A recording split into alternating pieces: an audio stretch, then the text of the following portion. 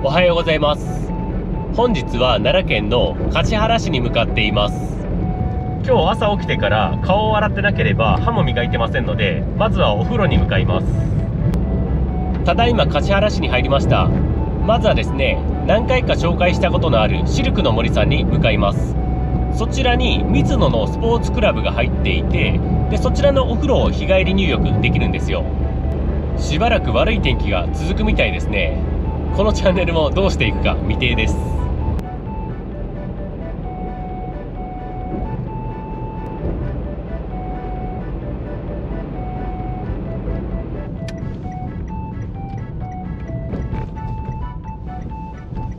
よし到着です。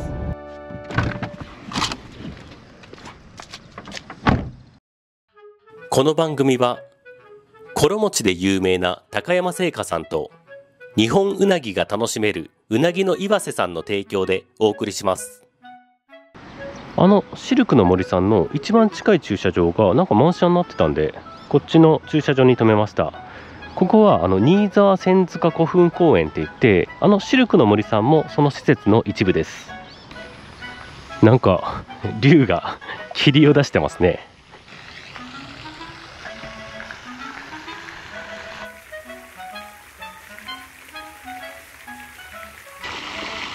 前にこれを見た時はなんかねあの工事中だったんですよ。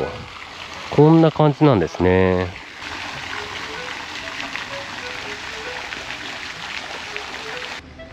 ここはこんな感じですごい絵がいい感じなんですよね。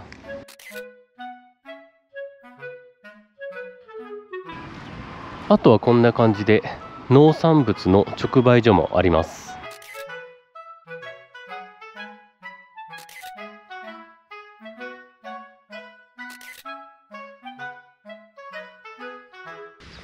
よしではお風呂に向かいます。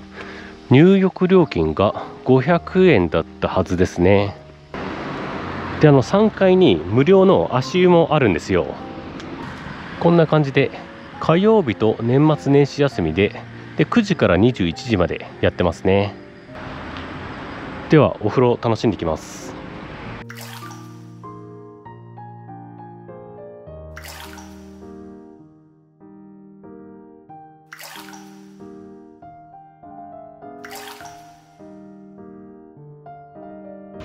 お風呂上がりました。ここは本当に500円にしては結構広くて宇宙も大きいですし露天風呂もちょっと庭園風になっていて気持ちが良いです。6人まで入れるサウナとこんな形の水風呂もあります。朝なので1セットだけやって整ってきました。雨降ってきました。今日はもう天気はダメですね。そちらの売店でさっき気になるものがあったんでちょっと買ってきます。ということで530円のほっこり田舎の卵っていうのを買ってきました。こちら五条市の卵のようですね。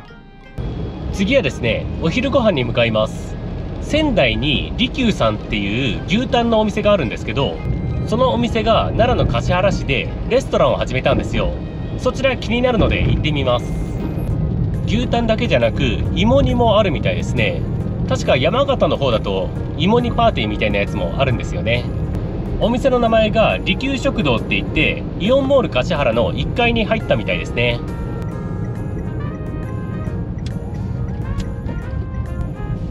よし到着です。よしでは利休食堂さんに行ってきます。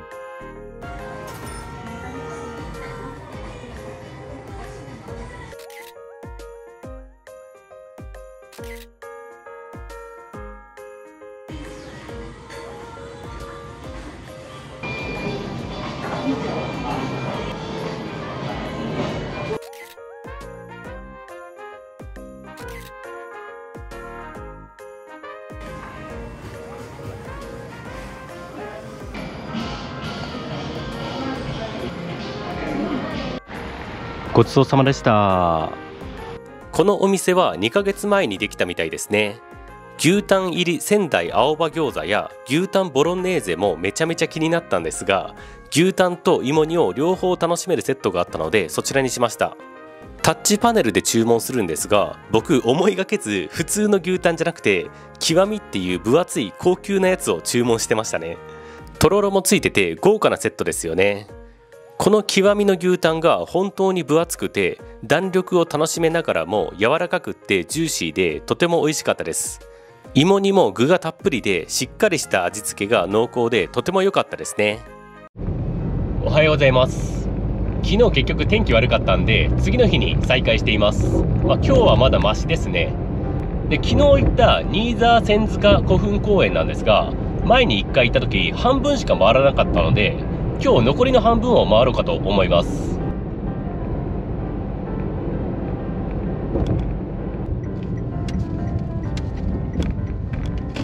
よし到着です。こうやって道路を挟んでこう2つに分かれてるんですね。で前どっち行ったか覚えてないんでちょっと自分の動画を見返します。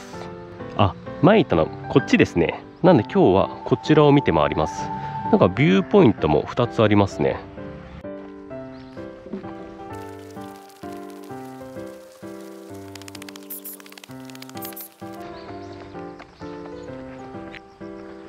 近道あるんでこっちから行きますね。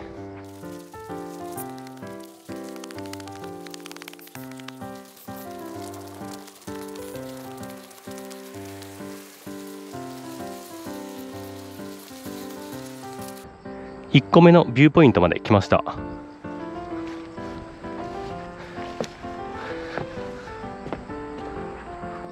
ただ何も見えないですね。今いるのがここなんでもう一個のこのビューポイント目指します。ああと棚田の広場っていうのもありますね。うーんどこから行くのかいまいちわかんないですね。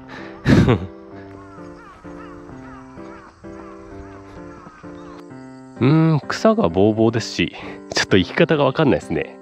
ちょっともう今日散策は別のところに行きましょうかね。ちょっとあんまりおすすめできないなっていう。この公園はやっぱりあのお風呂のあった道路の向こう側の方が全然いいですね。あっちの方が歩きやすいですしすごい整備されてます。あの売店であの気になるアイスがあったんでそちらを買っていただいたらあの桜井市であの視聴者さんに教えてもらった気になるスポットがあるんでもうそちらに行っちゃいますね。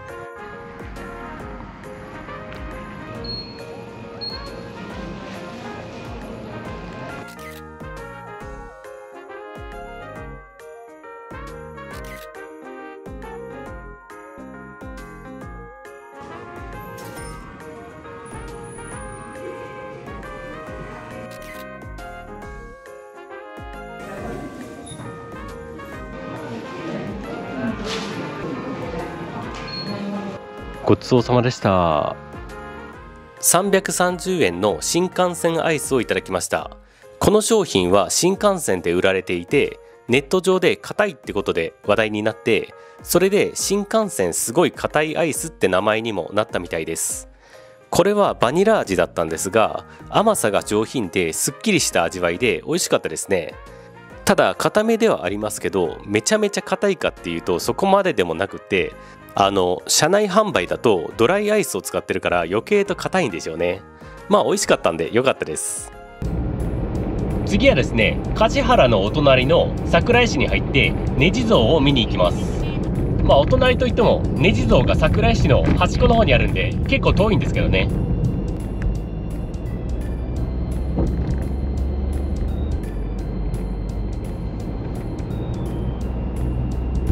すみません。ちょっと今すごい気になるスポットがあったんでちょっと引き返します。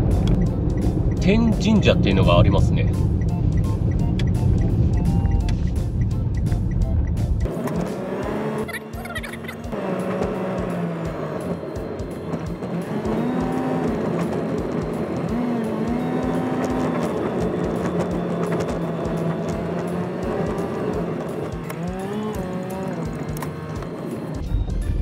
よし到着です。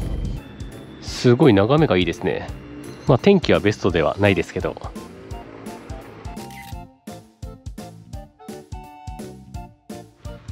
よしでは手を合わせてきます。へえ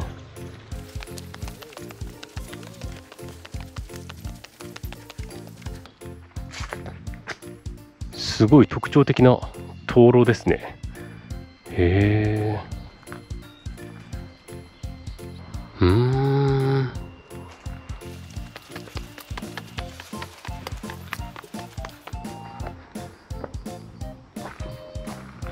結構独特な雰囲気ですね。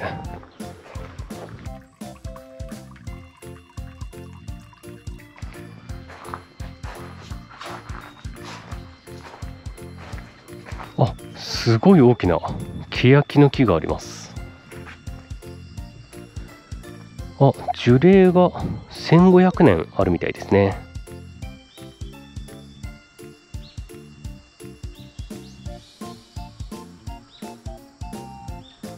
ご丁寧に向こうに行くと一段と素晴らしく見ていただけますってなってますね。あ確かにすごいですね。このスポットみんな知らないんじゃないですかね。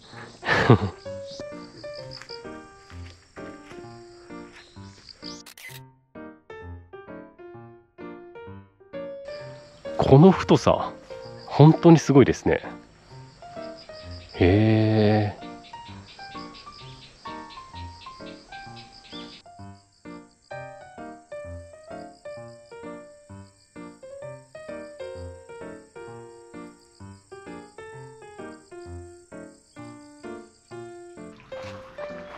あまだ手を合わせてなかったですね。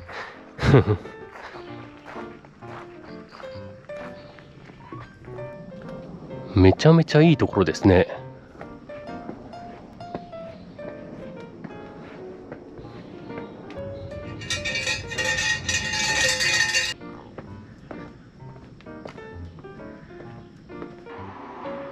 結構晴れてきました。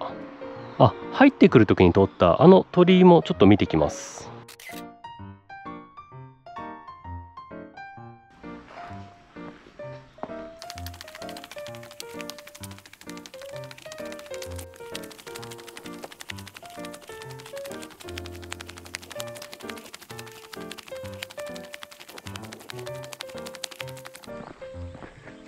こちらですね。天神社と記載されし書は弘法大師の直筆なりと言い伝うってなってますね。うーん。車でこう入ってきた時はまあここがちょっと狭かったかなぐらいでしたね。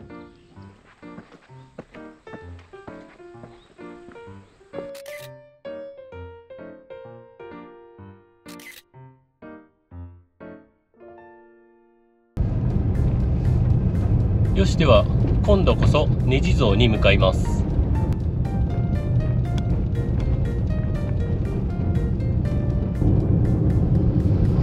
あ看板ありました。ネジ像ですね。ただ駐車場がないのでちょっと路肩の広いところを探します。ということでこの看板から歩いて 50m で着くようです。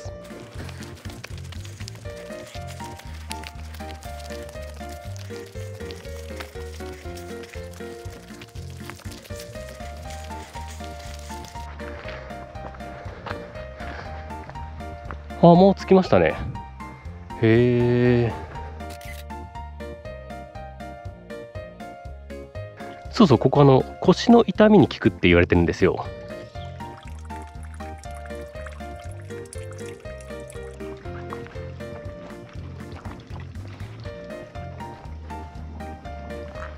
あすごい。神秘的なスポットですね。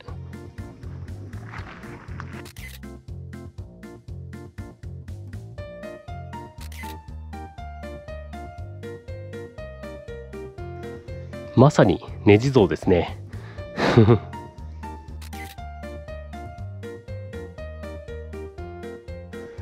いや本当に面白いスポットですよね。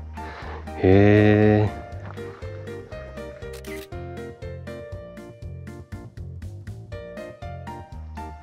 ありがとうございました。面白いところなんですけど僕も教えてもらうまでこのスポット知らなかったですね。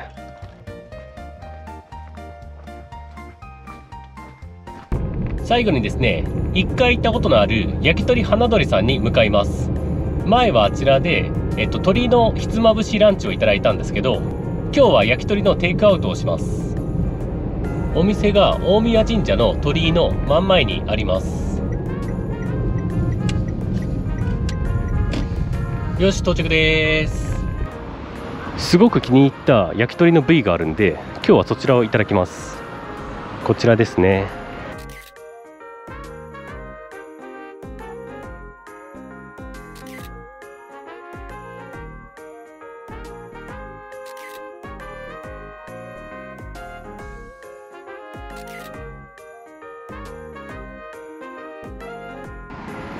いろいろ買ってきました。テイクアウトは14時半から19時までですね。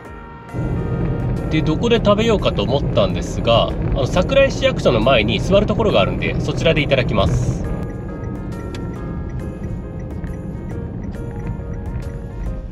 よし到着です。こちらですね。確か中にも休憩スペースがあったと思いますこちらの休憩スペースでいただきます。まあここあの屋上に庭園もあるんですけどね。よしでは合流していきます。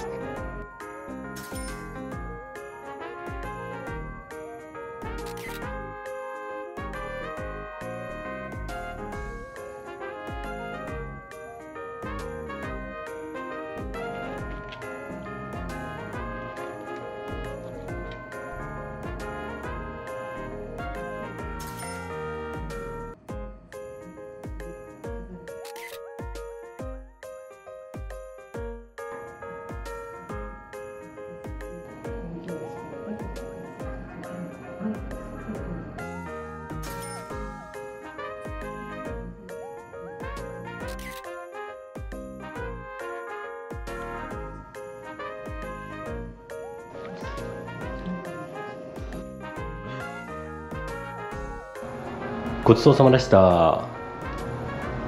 まずは780円の鶏飯弁当ですね。なんと 200g もせせりが入ってます。せせりが柔らかくってタレもよく合ってて後味で香ばしさも引き立っていてめちゃめちゃ美味しかったですね。次が500円の宇田里牛土手焼きですね。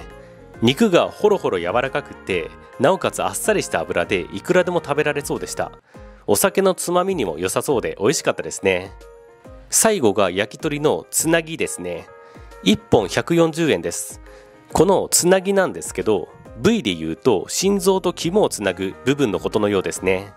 柔らかいんですけどコリコリもしていてあっさりもしていて本当に美味しくておすすめです。このチャンネルを見ている方にはおなじみなんですが屋上庭園もちょっとだけ紹介しますね。こんな感じです。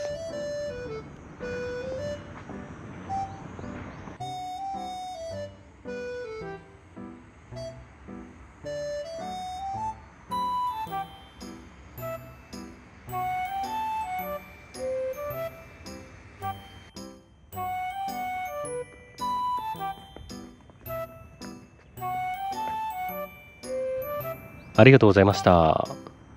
ではそろそろ帰ります。今回ちょっとグルメが多めになったんですけど楽しんでいただけましたでしょうか？ということで今回もご視聴ありがとうございました。